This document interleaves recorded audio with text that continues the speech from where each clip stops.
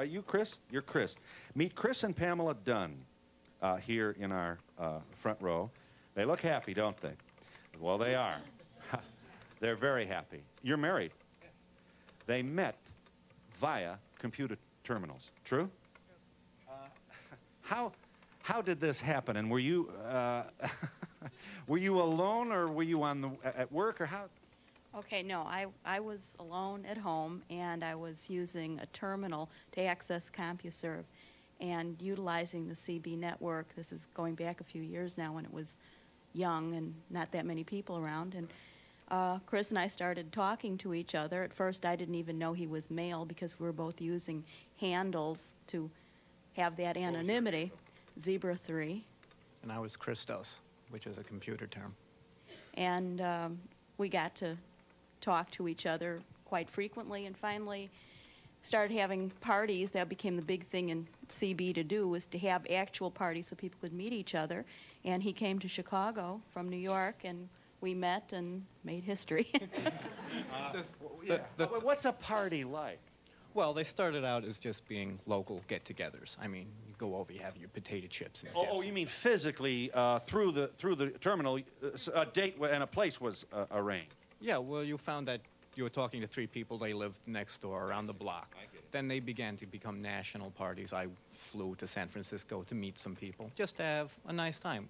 Was didn't have anything to do with sex or any of this other stuff. Right. We were just enjoying each other's company and talking to each other. The thing about the computers is, is that it's just a tool. People are doing the same thing with that they've done for ages. Yes, letter writing, uh, printing pamphlets or whatever. It's not the computer, it's the people running them.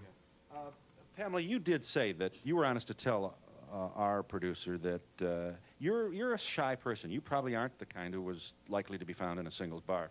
Oh, absolutely not. And I found that this is an incredible way to meet not just, you know, a potential spouse, but friends, people that people you have things yeah. in common with, yeah. people that you don't have things in common with, but ways to broaden your horizon through yeah. encountering and you don't have people. to be a techie type. She's a zookeeper. It's just that she had access to a computer terminal. You work for a zoo?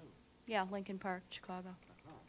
Uh, and I assume you can tell a jerk on the on the on the screen, maybe even easier than you would be able to. Huh? It takes practice. You get suckered in a few oh, times. Oh yeah, oh yeah.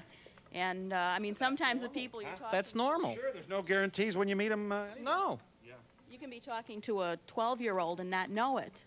But eventually, you, you do figure it out. There's pretty slick 12-year-olds around. Yeah. In fact, many of the... Uh, yes, ma'am, you had a question? Yeah. Well, maybe I've been lucky, but the people I've met on the bulletin boards have been great. Oh, you, you are a... Uh, wh what would you call yourself? A user. A user. That's all. I... I... No, go ahead. Well, as far as I'm concerned, it just means I use it. I'm not a programmer, even though I know some programming.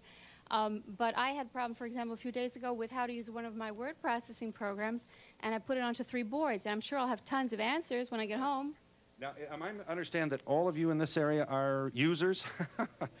you know, user has become a bad word in, its, uh, in our culture, but we won't, uh, we won't suggest that you're doing anything wrong. Uh, is this a nightly uh, hobby for you?